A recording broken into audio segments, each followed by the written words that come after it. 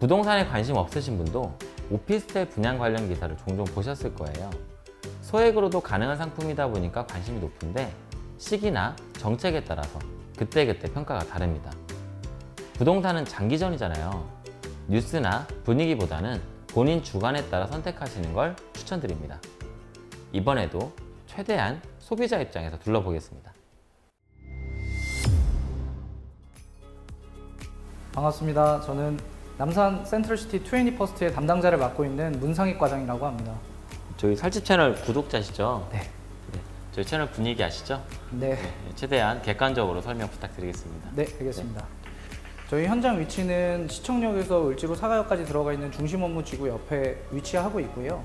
중심 업무 지구에는 BC카드, 대우건설, CJ본사, 그리고 하나금융그룹, 신한카드처럼 굵직굵직한 회사와 그 위에 중소기업들이 많이 포진되어 있습니다. 역까지는 제가 실제로 걸어본 결과 을지로 사가역까지는 5분이면 도착을 하고요. 바로 옆에 동대문 역사 문화공원역 도보 2분 내에 도착을 할 수 있고 충무로역까지 도보 7에서 8분 정도 소요됩니다. 동대문 역사공원역 5호선 출구가 저희 쪽이랑 상당히 가깝습니다. 아, 예. 실제로 걸어 보신 거리가 네. 5분에서 6분인 거죠? 네. 예, 저희 Twenty First는 일부 매니아층이 있을 정도로 부동산 투자에 관심이 많은 분들이라면 상당히 유명한 브랜드인데요. 강남, 남산, 뭐 한남동, 영창 이런 것들 제외하지 않고 도시형 생활주택, 오피스텔 가리지 않고 시공을 하고 있는 시공사입니다. 세운상가 재정비 촉진구역이라고 저희 바로 맞은편에 위치하고 있는데요. 지금 현재 사대문 사이 안에서 가장 마지막으로 재개발을 하고 있는 지역이라 충분히 수혜를 받을 수 있을 거라고 생각합니다. 네, 저희는 1층에 상당히 높은 필로티를 가지고 있고요. 그리고 다른 데와는 또 차별적으로 저희가 또 대려변에 인접해 있습니다. 그리고 옥상에는 옥상 정원과 태양열 전지가 같이 있어서 뭐 주거 친화적인 환경을 가지고 있다고 설명드릴 수 있을 것 같습니다. 여기 몇 개 층인가요? 저희는 지하 1층부터 지상 18층까지 있습니다. 지금 세운 재정비 촉진지구 앞에 있는 도시형 생활주택과 아파트 같은 경우는 지금 현재 경쟁률이 53대 1 정도가 나오는 상당히 핫했던 현장들이 있었습니다. 분양이 완료가 되었고요. 어디 건설사죠? 대기업 브랜드 이제 D사와 H사가 있습니다. 어, 저희 같은 경우 동일한 평수대로 했을 때 거기 이제 D사와 H사 같은 경우는 실평수 이제 6평짜리 원룸들이 4억에서 5억 정도에 분양을 했는데 저희는 2억 5천 정도의 절반 가격에 분양을 하고 있습니다. 저희는 토지 매입가 자체가 주변 시세보다 많이 저렴하게 매입을 해서 그것도 가능하다. 그렇게 지금 분양을 하고 있습니다. 기계식 주차장을 이용을 하고 있는데요. 주출 입구가 두 군데여서 다른 데보다 훨씬 더 원활하게 주차와 출차를 할 수 있습니다. 수요랑 접근성 다 살펴봤기 때문에 입지는 이 정도면 된 것 같고요. 네. 이제 실내 둘러보러 가시겠습니다. 네. 자, 가시죠. 여러분, 실내는 저랑 같이 둘러보실게요. 옆에 보면 타입이 굉장히 많아요. F타입까지 있는데 왜 이렇게 타입이 많은 건가요? 타입 같은 경우는 저희가 원룸형, 투룸형으로 보시면 되는데 아주 미세한 차이도 타입 구분을 해야 되기 때문에 타입이 많다고 생각하시면 될 것 같습니다. 음, 그럼 결국에는 E 타입하고 F 타입처럼 원룸형 하나, 투룸형 하나 이렇게 두 개 있다고 생각하시면 되겠네요. 네. 그렇죠. 투룸형은 이쪽에 모형도로 구현이 되어 있고요. 원룸형은 이쪽 유니트로 구현이 되어 있습니다. 자, 원룸형을 여러분들이랑 같이 살펴볼게요. 자, 따라가시죠. 자, 이쪽 오십시오. 원룸형 전실에 도착을 했습니다. 전실에 뭔가 알수 없게 넓은 느낌이 들어요. 실제로 조금 넓은가요? 네, 한 30% 정도 일반적인 오피스텔 원룸보다 더 넓다고 음. 생각하시면 될 것 같습니다. 자, 왼쪽에는 양문형 신발장이 있어요. 한번 열어볼게요. 자, 신발장은 평범한 구조인데 제가 보니까 이 문 하나가 하나하나가 조금 넓은 것 같아요. 그래서 신발 수납 공간은 넉넉하다라고 생각하시면 될 것 같고 공간 크기를 다 이렇게 다르게 구성을 해놔서 크기가 다른 물건들도 다양하게 수납을 할 수 있을 것 같습니다. 신발장 밑에 여기 행잉 타입 이런 것들은 뭐 아시죠? 요즘 뭐 트렌드니까 기본을 잘 지켰다라고 생각하시면 될 것 같고요. 제 밑에 디딤석도 잘 되어 있습니다. 왼편에는 전신 거울이 있어요.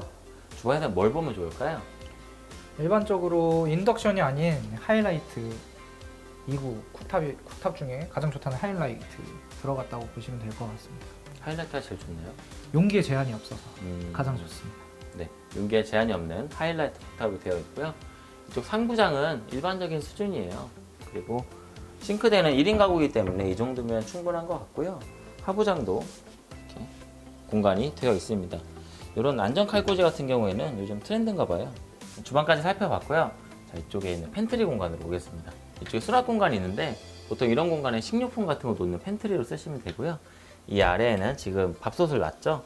뭐 전자레인지 놓으셔도 되고 밥솥을 놔도 되고 뭐 그렇습니다. 이 밑에는 드럼 세탁기가 있는데 요즘은 건조 기능 있는 드럼 세탁기를 놓는 게 트렌드인 것 같아요. 네, 맞습니다. 일반적으로 드럼 세탁기 하면은 건조 기능은 빠져 있는 드럼 세탁기가 들어가 있는 경우가 많은데 저희는 그 아무래도 업무지구 단지 안에 있다 보니 건조 기능까지 들어가 있는 걸로 음, 포함되어서 넣어드렸어요. 보통 제가 둘러보는 그런 빅 브랜드들은 건조 기능까지 있는 걸로 이게 넣어 놓는데 트렌드를 잘 따랐다라고 생각하시면 될 것 같습니다. 이쪽에는 예, 손잡이가 있는 걸 보니까 빌트인 냉장고겠죠? 빌트인 냉장고가 이렇게 되어 있고요. 아래는 냉동고겠네요. 그렇죠? 냉동고 이렇게 되어 있고 왼쪽엔 스타일러가 있어요. 스타일러는 쓰시나요 혹시?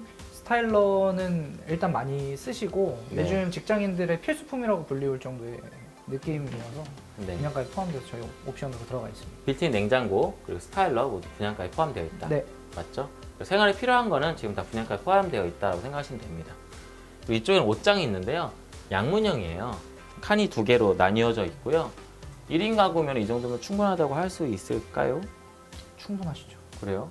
네. 왜냐하면 1인 가구가 많은 지역이고 직장인들의 개인적인 직주금접을 위해서 나와 있는 소형이기 때문에 음, 그러니까 꼭 필요한 옷들을 보관하기에는 충분한 공간이다. 네, 이 정도 생각하시면 될 것 같습니다. 그 이쪽도 열어봐도 되나요? 네, 그쪽은 보일러실입니다. 예, 보일러가 설치되어 있을 것 같고 이런 공간이 하나 있으면 짐을 놓으면 되기 때문에 수납 공간으로 쓰시면 될 것 같습니다. 네. 제 뒤편에는 인면 분할창이 되어 있습니다. 예, 서 있는 면을 두루 나눴다는 뜻이죠. 전체 통창으로 되어 있기 때문에 조망에는 아주 좋을 것 같습니다. 여기서 남산이 보이나요? 네, 저희 그 저층 일부 세대를 제외하고는 전부 다 남산 뷰가 확보가 되어 있고 저희가 남향, 북향으로 나눠져 있는데 북향 같은 경우는 북한상 뷰가 나온다고 생각하시면 되겠습니다. 네, 뒤에 있는 사진처럼 남산이 이렇게 보인다고 합니다. 이 위에는 시스템 에어컨하고 전열 교환기가 있는데요. 다 분양가 포함이죠? 예.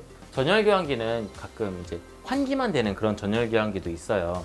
얘는 헤파 필터도 되어 있는 애인가요? 네, 헤파 필터는 단순히 교체만 하셔서 지속적으로 이용 가능하시고요. 공기청정 기능이 들어가 있다는 것 자체가 다른 곳과는 또 차별점이 아닐까. 네. 오피스텔은 방이 하나기 때문에 이렇게 공기청정 기능이 있는 전열 교환기가 있으면 환기에는 유리하겠네요. 네, 이쪽에는 침대가 놓여져 있는데 조금 작은 것 같아요. 네, 그렇죠. 네.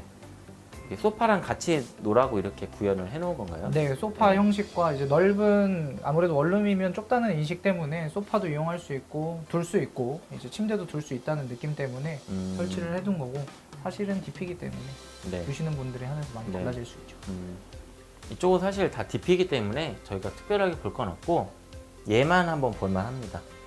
이거 IoT 서비스를 실제로 구현을 해놓은 거래요. 네, 레트로 디자인의 이런. 네, 여기서 뭘 봐야 되나요?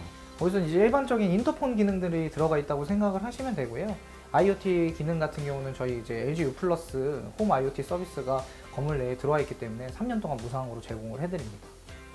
네, 욕실에 들어왔습니다. 욕실 좀 넓은 것 같은데요, 맞나요? 지금 다른 곳들보다 한 절반 정도 지금 샤워부스 안쪽이 더 넓다고 생각하시면 돼요. 어, 위에는 해바라기 수전이 있고요. 이쪽에 선반형 샤워기가 되어 있는데 제가 대기업 빅브랜드들 아파트 많이 둘러보잖아요. 그런 곳에 있는 것과 거의 동일한 브랜드의 제품입니다. 샤워 파티션은 여기까지 보면 될 것 같고요. 자, 이쪽으로 넘어가 보겠습니다. 일반적인 화장실 구조예요. 세면대 있고 변기 있고 그리고 슬라이딩 장이 있는 형태입니다. 슬라이딩 장만 한번 열어볼게요. 언제나 그렇듯 한쪽은 구분이 세밀하게 되어 있고요. 콘센트도 되어 있네요. 그리고 반대편은 조금 크게 널찍널찍하게 되어 있죠. 네, 그리고 댐핑까지 잘 되어 있습니다. 이래저래 기본을 잘 지킨 것 같아요. 뭐 이런 것들, 핸드폰 거치대 이런 것들은 기본이니까 있다고 생각하시면 될 것 같고요. 자, 욕실도 여기까지 해서 다 둘러봤습니다, 여러분. 이제 총평은 나가서 팀장님이랑 같이 살펴보도록 할게요. 자, 가시죠. 신청하시게 된 계기가 궁금합니다. 일단 저는 아무래도 분양 상담 일을 하면서 저희 고객님들의 신뢰가 가장 중요하다고 생각을 하거든요. 그래서 현장 같은 경우도 한번 분양 받게 되시면 계약하셨다고 나물러라는 게 아니라 지속적인 케어들을 해드리고 있는데 여기 같은 경우는 지금 현재 입지도 너무 좋은 상황에서 가격까지 저렴하고 그 들어와 있는 브랜드까지도 있다 보니까 자신 있게 추천할 만한 현장 같아서 신청을 하게 되었습니다. 어쨌든 뭐 누구에게든 자신 있게 추천할 수 있는 현장이다. 자신 있다. 이렇게 정리를 하도록 하겠습니다. 재밌게 보셨다면 좋아요, 구독, 그리고 알림 설정까지 꾹꾹꾹 감사합니다. Of